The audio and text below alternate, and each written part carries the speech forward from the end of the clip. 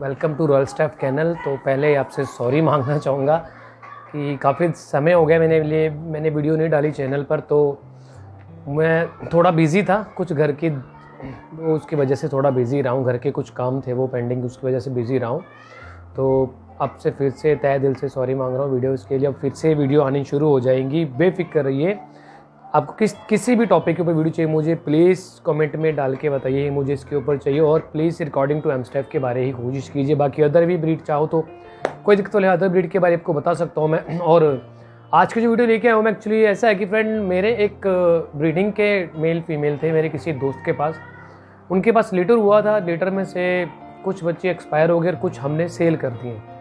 अभी एक पपी जो उस भाई ने खुद अपने लिए रखा था बट वो भी अभी कुछ कारणों की वजह से हम सेल कर रहे हैं और बच्चा बहुत ही ज़्यादा सुंदर है। जैसे मैंने आपको रोमन के बारे में बताया था तो रोमन भी हमारा सेल हो चुका है और उसको बहुत ही अच्छी फैमिली मिली है। रोमन हमारा जो गुड़गांव में और मुझे बहुत अच्छा लगा, वो बहुत अच्छे भाई जिनके पास गया, वो बहुत अच्छे से उसको प्यार कर रहे हैं। और रोमन जो वो तो औसम पपी बनेगा और ये भी कुछ उसी क्वालिटी में आपको बच्चा दिखेगा। और इसका जो कलर है, वो black and white colour marking में जैसे मेरी ब्लैक है आपने देखी होगी। उस कलर में मार्किंग नहीं है और बहुत सुंदर पपी ये भी। तो ये अभी पपी जो अवेलेबल है दोस्तों, इसकी जो एज बच्चे की I think forty forty five days हो चुकी है, इसको वैक्सीन इसकी डोज लग चुकी है और रेडी है। अगर आप में से कोई भी भाई इंटरेस्टेड हो तो इस बच्चों को लेने के लिए तो मुझे कॉल कीजिए। तो आपको मेरा नंबर का उसमें डिस्क्रिप्शन में मिल जाएगा दोस्तों। बेफिक्र होकर मुझे फ़ोन कीजिए कॉल कीजिए। बच्चा बहुत सुंदर है और प्लीज़ ये चीप प्राइस में हम स्टेप नहीं होते। फिर से कहना चाहूँगा, मुझे कुछ भाइयों के, कुछ ऐसे लोग, लोगों के कॉल आते हैं। जो समझते हैं कि एमस्टेप हमें दस पंद्रह हज़ार में मिल जाएगा? मेरे भाई एमस्टेप है, ये पिटबुल नहीं है। आप एक्चुअली तो देखिए एमस्टेप मैं प्योर दे रहा हूँ, मेरे भाई, मैं मिक्स ब्रीड नहीं कर रहा हूँ। मैं आपसे सिर्फ़ और सिर्फ़ अपनी प्योरिटी के ही पैसे ले रहा हूँ और कुछ भी नहीं। हमारे पास बिग पेपर एमस्टेप होते हैं मेरे पास। केसी रजिस्टर्ड होते और फुल्ली पैडागिरी मेरी बात समझिए दोस्तों। ऐसे आपको कहना चाहता हूँ कि आप जब भी एमस्टेप ले तो एक बार उसके मदर फादर उसकी पैडागिरी देखिए, उसके बाद ही एमस्टेप ले एमस्टेप जो प्योर है मेरे पंजाब में, बहुत कम कम बोलूँगा तो मैं हूँ, एक आधा कोई होगा तो शायद होगा।